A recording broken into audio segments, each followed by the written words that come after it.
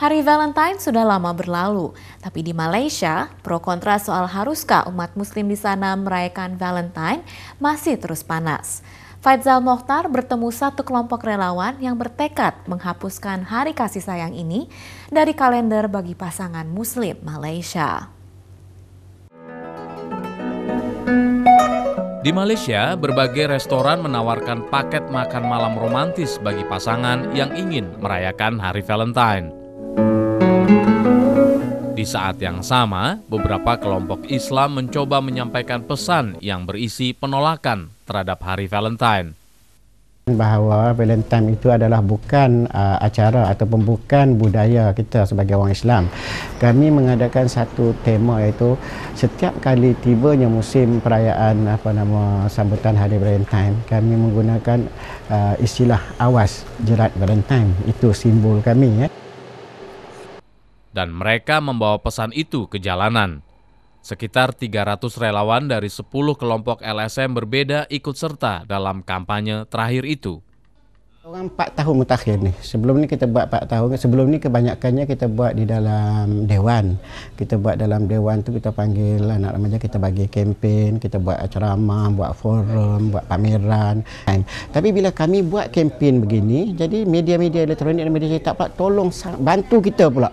Tolong bantu kita mengawasi benda-benda macam ni. Jadi ah, macam tu lah kita nak. Jadi saling kerjasama antara satu sama lain sama apa nama ni, faham memaham. Jadi bolehlah kita kontrol betul dengan harapan supaya kes-kes pembuangan bayi dan juga kes-kes perzinaan yang terlalu apa nama seks bebas pasal ini akan terkawal ya.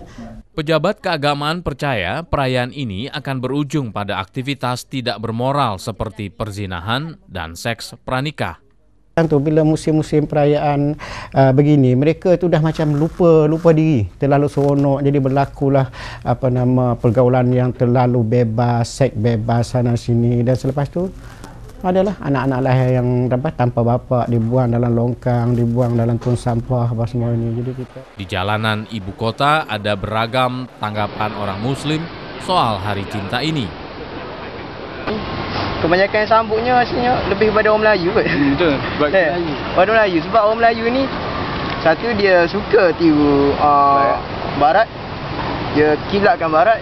Mungkin uh, mungkin asas daripada sekolah dulu lagi daripada tadika dan dia ni simple je memang tak patutlah di di apa ni disambut oleh ni rakyat-rakyat umat Islam. Tapi sejauh ini tidak ada undang-undang atau perintah agama yang melarang orang muslim merayakan hari Valentine selama para pasangan itu menjaga sikap mereka.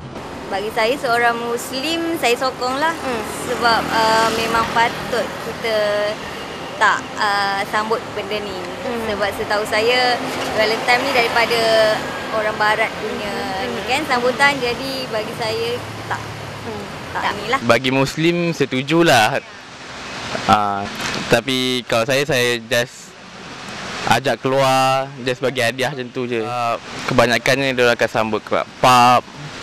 Uh, dan lepas tu dia akan pergi ke macam biasa dia akan lebih pada social lah.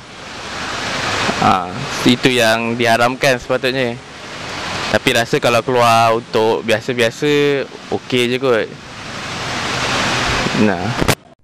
Perdebatan soal hari Valentine ini tidak hanya terjadi di Malaysia, tapi di seluruh negara Muslim. Dan hari Valentine terus memicu perdebatan lewat berbagai cara. 2011, ulama uh, Majlis Ulama Indonesia uh, MUI, MUI lah, eh, dia buat satu statement uh, mengatakan bahawasanya hukum sambutan itu adalah halal. Harus kembali pada hukum harus dan uh, dia minta supaya anak-anak muda yang merayakan tersebut jangan melebih-lebih sampai boleh buat pada sini. Untuk Asia Calling, Faizal Mohtar dari Malaysia kini menyusun laporannya untuk Anda.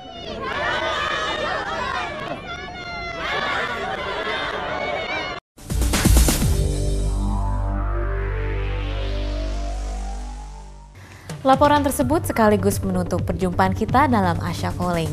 Terima kasih Anda sudah menyaksikan. Kami undur diri dan sampai jumpa pada Asia Calling berikutnya. Asia Calling, your window on Asia.